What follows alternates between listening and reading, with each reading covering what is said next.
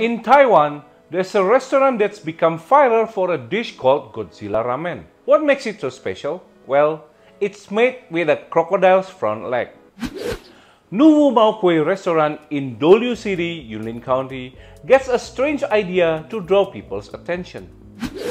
They created a ramen menu with real crocodile legs and call it Godzilla Ramen.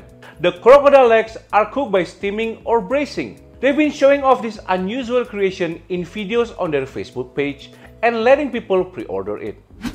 One video shows a young woman trying the dish and giving it a thumbs up. She said the braised meat reminded her of pork feet and the steamed version tastes like chicken.